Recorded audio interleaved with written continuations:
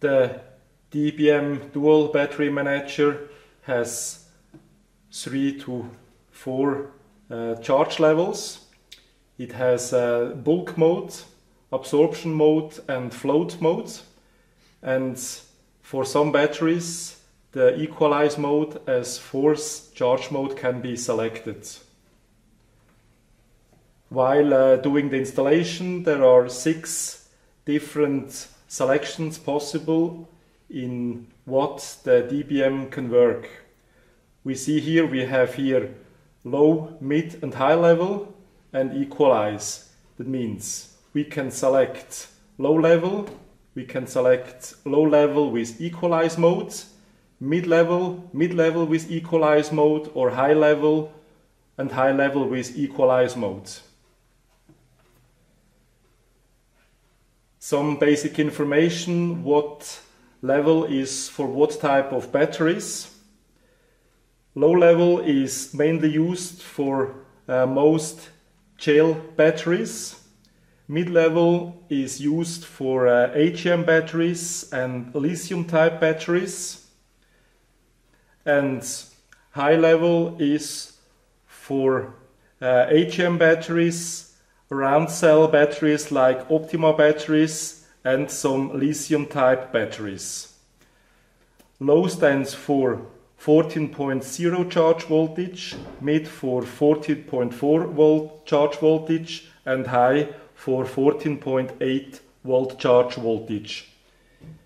If equalize is also selected with all these three charge levels, this is increasing the charge voltage for a dedicated time by 0.6 volts.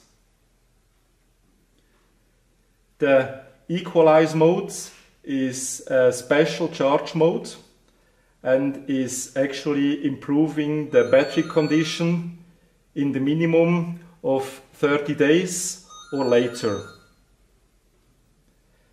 To check the correct uh, charge settings, always um, consult the corresponding data sheets.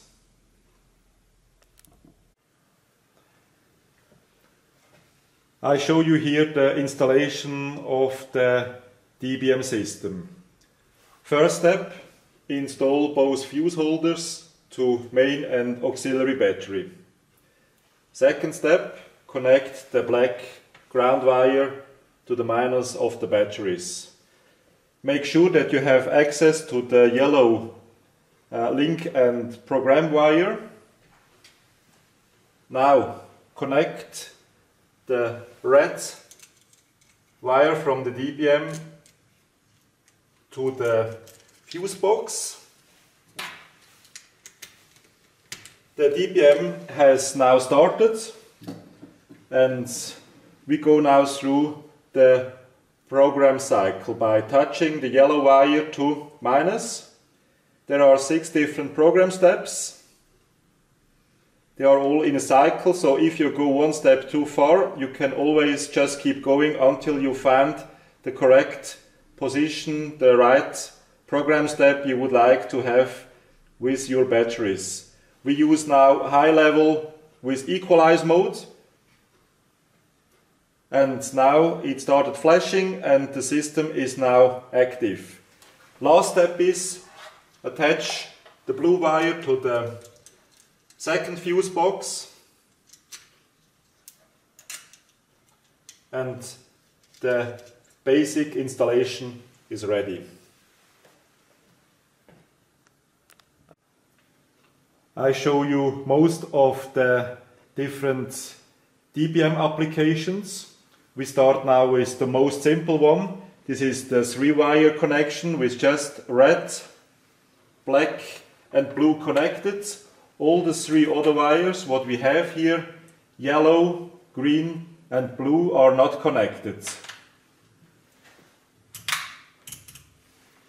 Left we have starter battery, right is auxiliary battery. This is the, the current charge meter for the auxiliary battery. Now we start the engine.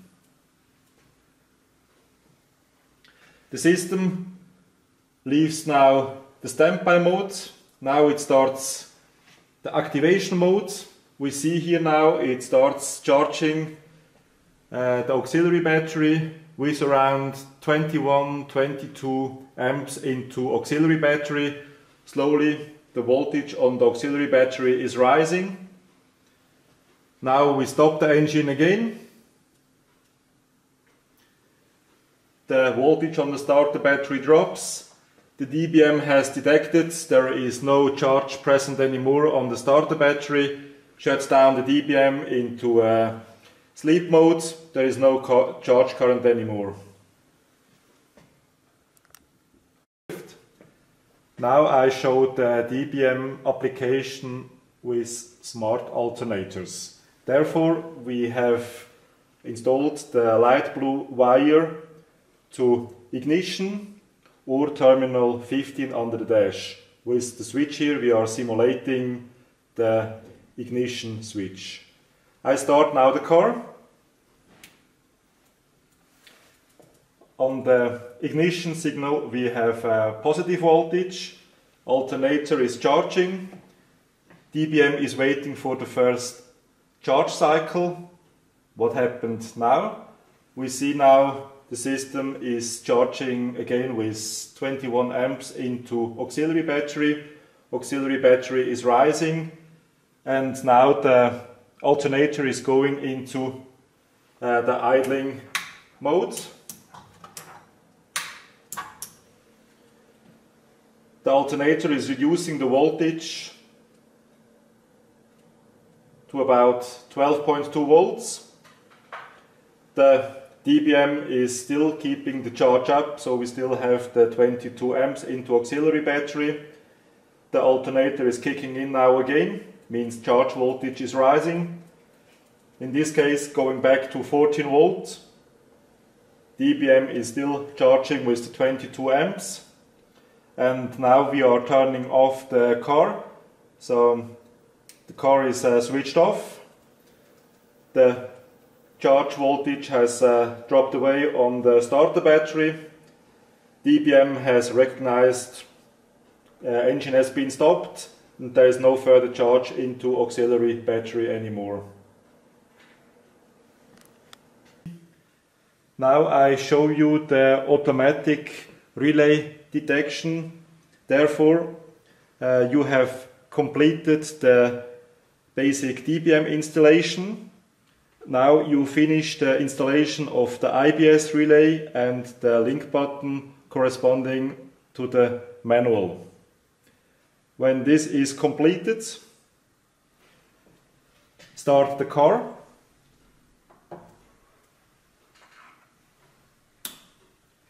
You hear now the click from the relay. So the system has now automatically detected the relay. We see also here the uh, relay LED goes off, goes on. Now we turn off the car again.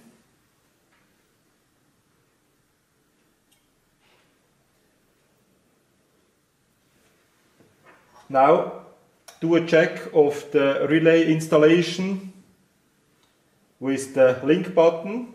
First you have to wait until the DBM is in the standby status. What is now? Now I push the link button. We see now the relay LED goes on. We heard the clock from the relay over there. Uh, to uh, go back into automatic mode, I push the link button for 8 seconds.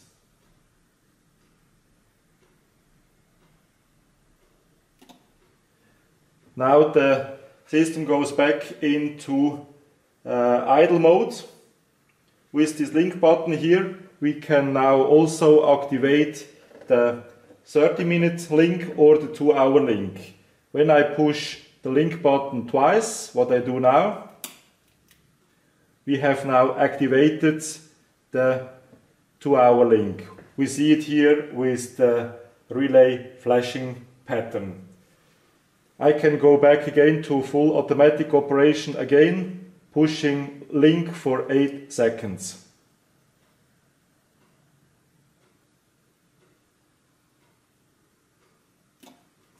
Now the relay has separated both batteries and because there is no other charge present, the DBM goes into idling mode, DBM status is green flashing.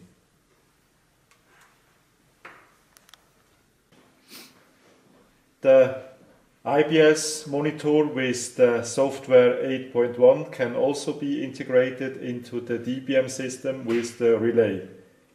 Therefore, I connect now the monitor. It shows now software version 8.1. So the system has now started. We see here now the charge level on main and auxiliary battery. Uh, the wiring is identical to the standard installation except the green wire, what we see here, goes into the link wire of the DBM.